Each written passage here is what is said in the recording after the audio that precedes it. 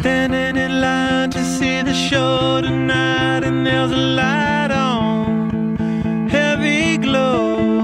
By the way, I tried to say I'd be there, waiting for.